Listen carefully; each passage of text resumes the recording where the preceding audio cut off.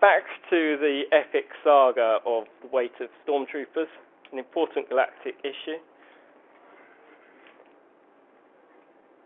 I think we've shown, possibly, that there is a, a statistically significant difference, or more correctly, our study found a statistically significant difference between the weight of clones and um, non-clones, even having excluded different stormtroopers. So we've excluded one group and we've still found a difference. Bear in mind the caveat of variation in p-values, however, when reporting these kind of results.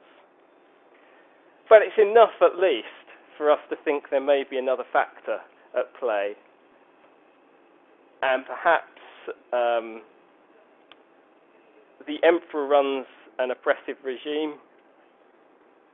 And in fact, since he's taken over in a more dictatorship fashion, job satisfaction amongst stormtroopers is decreased, leading to reduced commitment to military activity and overeating to compensate. So what we, have done is, it so happens that uh, routinely Republic clone troopers were questioned on their job satisfaction, and we've decided to repeat this activity amongst stormtroopers. And we've sent out a job a satisfaction questionnaire. I think Sava in Induction Week did do a, a talk on questionnaire design, and um, I suspect that my questionnaire here doesn't conform to the standards that she probably set out uh, in that lecture. But that's it. So I've said, are you very satisfied? Very dissatisfied. I'd rather be a droid. Down to very satisfied. The Emperor is an amazing boss. So that's how they've got to rate themselves.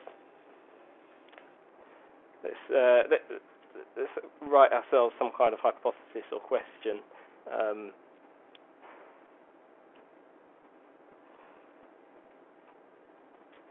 so is uh, job satisfaction the same between stormtroopers, ST, and Republic clones, RC. So that's going to be our question, is satisfaction. So we could set a null hypothesis that there is no difference in job satisfaction between uh, these two groups as measured by our survey. Uh, and so in we you set up this thing called a contingency table. And, and all it is is we've listed our our grouping variable there, and we've also listed another variable across here essentially we've got two two variables that we're making a comparison of. You could have more, so this could go this list here. We've got Republic, Imperial. Uh, you could have other eras, and if you look on Wikipedia, there'll be old era, and new era. Um, I don't know, lots of different eras. You could you could list different types here. You're not restricted to. I've just put two in because it's easy to do the calculations. We're going to go into some calculations that I would never expect you to do. Um, mortals should never have to do calculations unless they're also computer programmers. And so uh, I, I, wouldn't expect that, but um, it may be useful to understand how this works and what the tables are telling you or what the, the test is telling you that we're going to go into. So anyway, we have these things that called uh, observed frequencies. So that the observed frequencies are simply Amongst Republic um, clone troopers, 25 were very satisfied. And amongst Imperial uh, stormtroopers, um, zero were very satisfied. So very dissatisfied there. But 75 were very dissatisfied. And it's just a way, that's simply a table for recording our, our, our research results. And so now what we want to know is what is the probability that the observed difference could have occurred by chance? If there is any, is any observed difference. Again, bearing in mind that confusion over whether a p-value is a meaningful parameter or not anyway. We can use this thing, uh, for this kind of data presented in this kind of way, in a contingency table, we can use chi-squared test. It, you can think of it as a test of association, but it simply tests that null hypothesis uh, set out here. That uh, the, it's another one of these uh, tests for looking for differences amongst two groups, but we're not testing means, um, and it could be used for nominal variables. They don't have to be ordered. Want to say, are there differences in, in somehow in the grouping between two sets of data? So it's a kind of very general test. And to do that, we have to calculate what are called the expected frequencies. So what an expected frequency is. In, in the first contingency table, we calculated observed frequencies. So this is simply what we measured. Questioned lots of people, we got their responses, and we tabulated it. How many people are very satisfied in one group or the other, etc.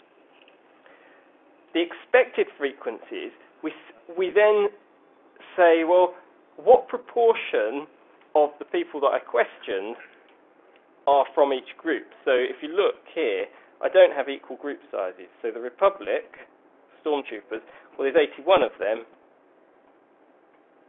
and Imperial stormtroopers, there's 112.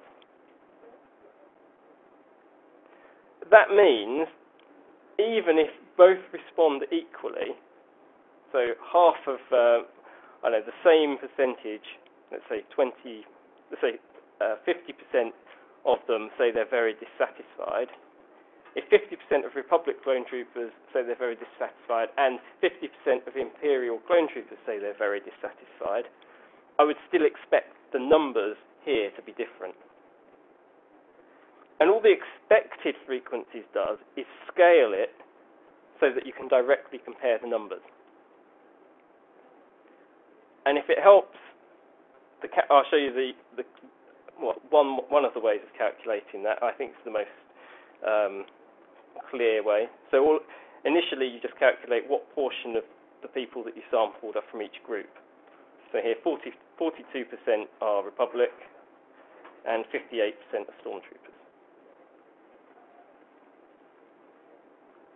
Okay, so that's just 81 out of 193, 112 out of 193, where 193 is the total number of people questioned.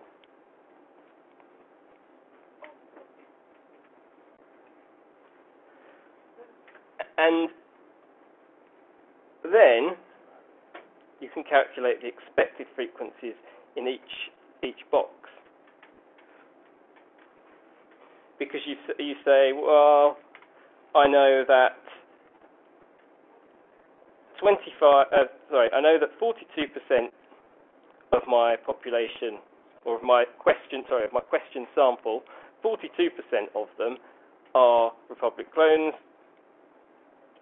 58% of them are Imperial stormtroopers, but of everyone that's dissatisfied, I know there's 100 of them.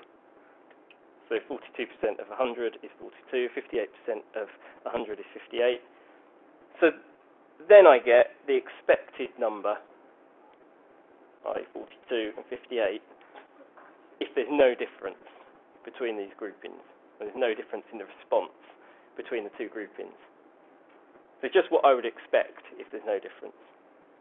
Again, I wouldn't expect you to ca- calculate this, but it's very useful to understand what these different tables tell you because they give you some indication uh, of what's going on. So if you know, under the assumption of the null hypothesis, you know what the expected response rate would be, then you can compare it to what you actually observed. And that's the comparison is done in this way. I've called it relative squared difference. And that's simply because you take your observed value, you subtract from it the expected value, of course, that could be a negative number, so you square it, and then you just divide it by the expected value. It doesn't matter so much about the calculation, but what it does matter is it's telling you how far away that the, um, the actual observed value is from what you might expect under the null hypothesis.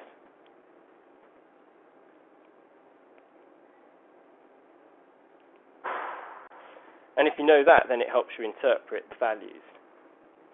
So when I look at the table of the relative squared difference, that's telling me if I get a big number, I know that there's a big departure from the expected values. So that's telling me there's quite a big difference um, from what I might expect under the null hypothesis, um, subjectively. So 6.9 is definitely bigger than 0.5. So 0.5 is telling me there's less of a difference um, to expected. But of course, what I really want to know is um, what the probability is that I care that that this difference could be uh, just down to chance. And that's done through the chi-squared statistic which is basically adding up all of the values in the table, getting this thing called chi-squared statistic, and then in the olden days, you would have a table of, uh, of, values. You'd look it up and get a p-value. Of course, nobody does that, and I don't expect you ever to do that either. So we um, do it using a computer. What's more important is you actually understand what the p-value means and by now, I'm sure you do.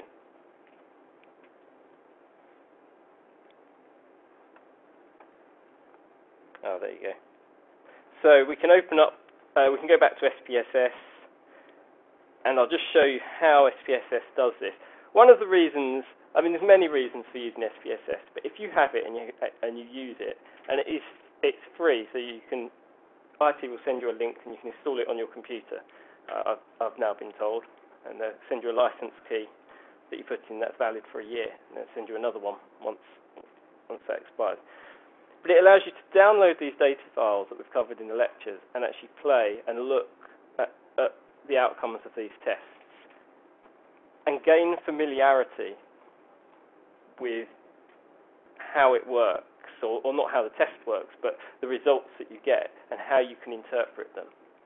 And it's that familiarity with how the tests report the results and how you might interpret them and then discuss them that is really the important characteristic of this Um, course.